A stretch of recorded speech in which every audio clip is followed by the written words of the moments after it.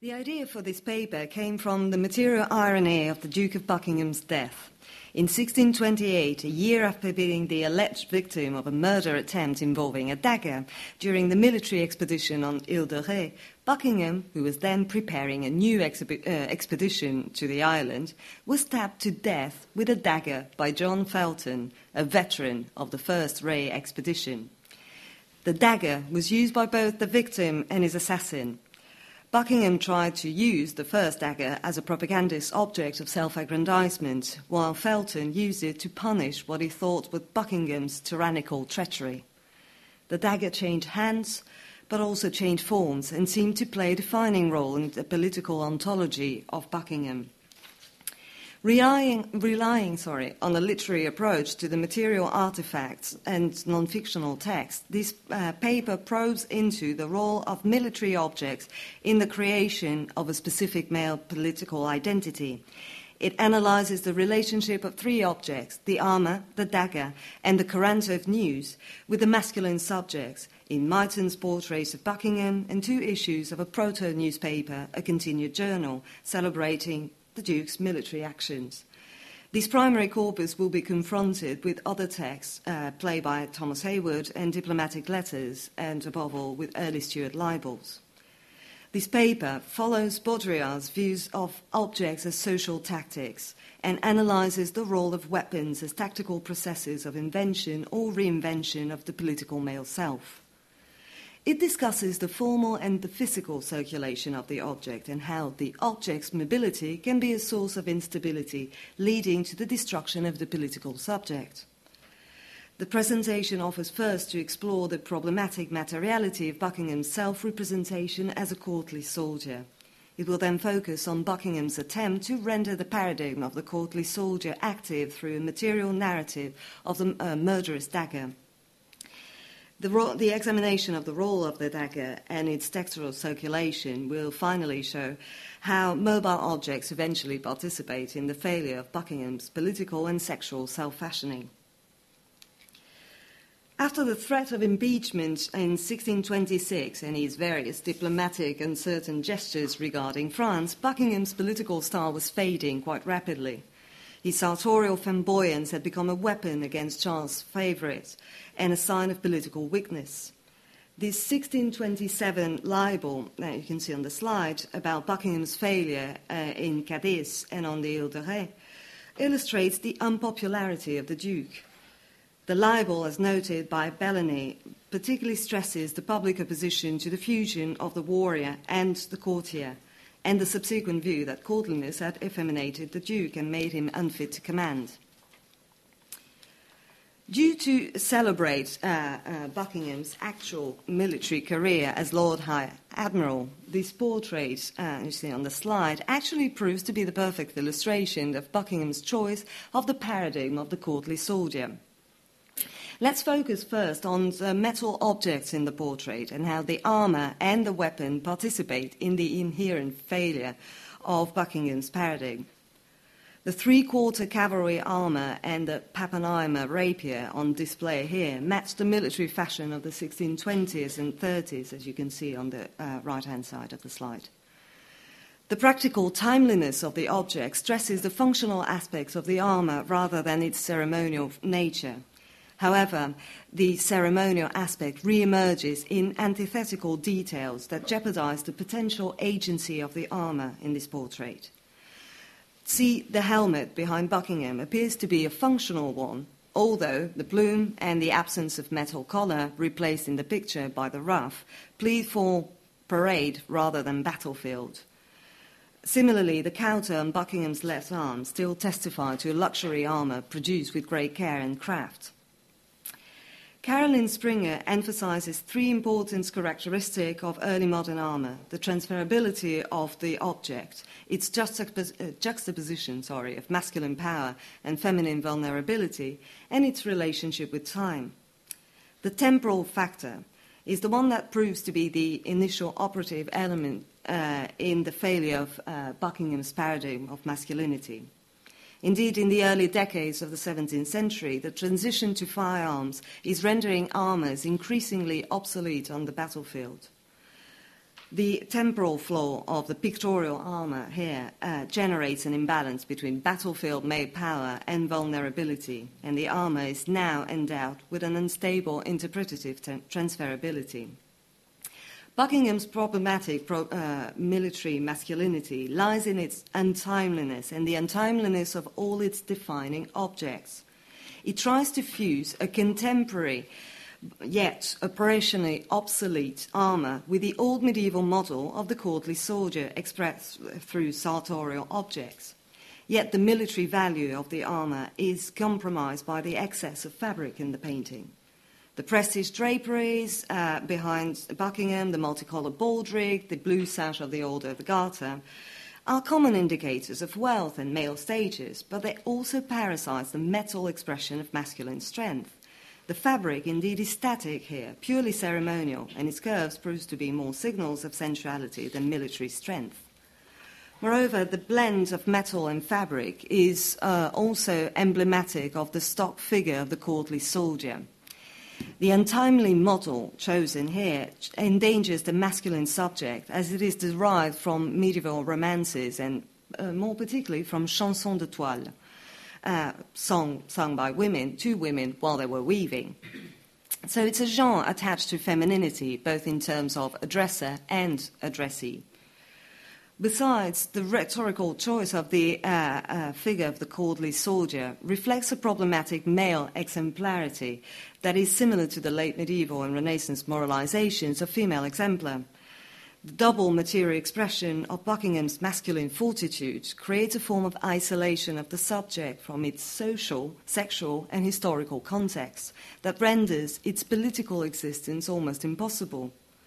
The epideictic value of the sartorial allegory of the courtly soldier proves destructive as subjectivity is made way too exceptional to be performative.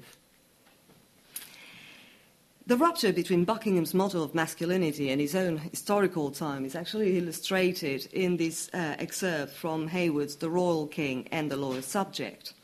The play features an interesting discussion of the temporality and the materiality of the soldier. Cock, the boldly named clown, enters the stage and discusses the time of masculinity as he opposes courtier and soldier. The play was performed quite regularly between 1606 and 1618 and reflects a contemporary view of the courtly soldier, still bearing Castiglione's influence. Cock's portrait uh, features a, uh, the same object, actually, as in the, uh, the previous Buckingham portrait. However, its rhetoric of antithetical parallelism presents the premise of a timely masculinity alternating military and courtly materiality.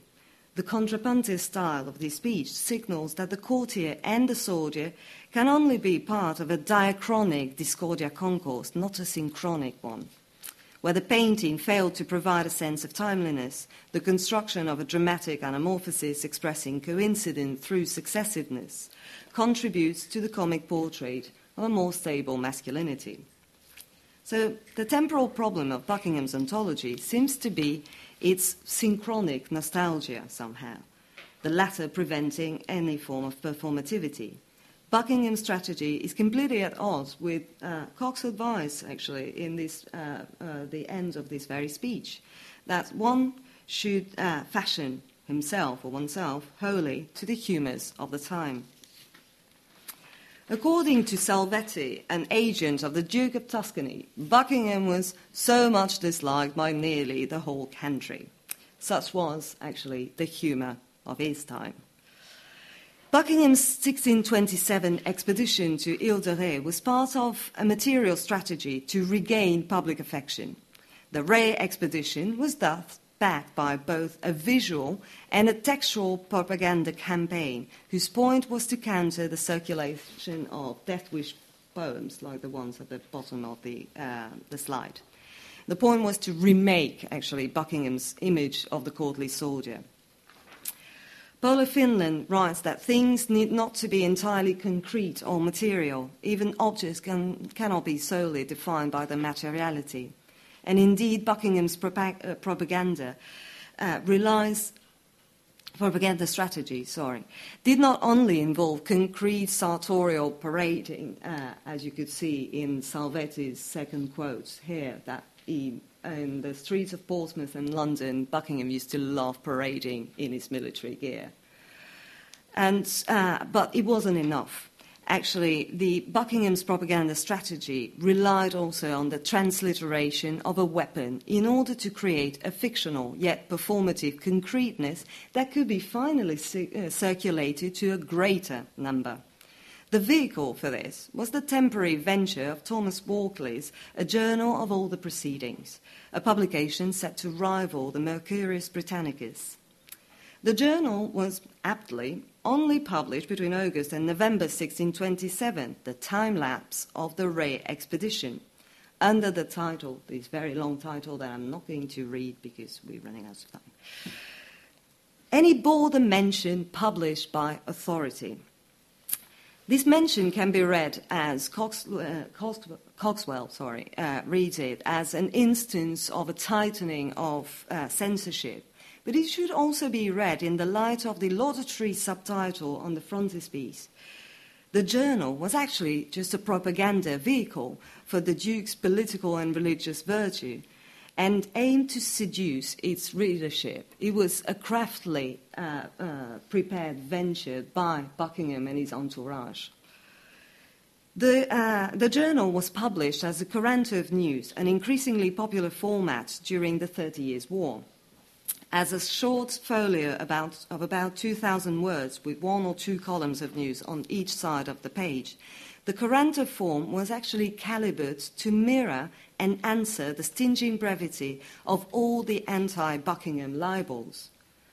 Moreover, the Coranto, and actually this one, uh, Walkley's Coranto, bore news about military and diplomatic uh, actions that were normally and legally inaccessible to a general audience. Thus, this very Coranto gave the reader the same illicit thrill than a libelous text. The Coranto uh, actually gives some thingness to the event. It is an artifactual text. It engages the reader's senses uh, thanks to a use, quite a, a prominent use of uh, material description, and also thanks to the phys- physical circulation from hand to hand. Beside the concrete materiality of the circulated journal, the strategy to validate Buckingham's masculine model also relied on the material redefinition of the courtly soldier by the then popular trope of the martyred soldier. You can see they were so popular they became a play acted many times by Henry Shirley. Hence, the first Corantos of the series of five Corantos feature three accounts by two different witnesses of the attempted murder of Buckingham by a French soldier. Yet, instead of presenting a vulnerable, hence feminine, wounded body, the textual and visual focus is on the murder weapon, a more virile signifier force. The physicality of the martyred hero is meant to be achieved through materiality. In this first excerpt from the first Coranto, the literary strategy is to create a military blazon for Buckingham, uh, which is going to be centered on the alleged murder weapon, the dagger, and then to turn Buckingham into a Protestant martyr. The text opposes the disciple of Jesuits to Buckingham, who is first presented through a metonymic analogy. The weapon is described as a long Ravaillac like knife poisoned and fuses the presentation of the murderer and the victim through the name Ravaillac, alluding both to the assassin and to Henry IV.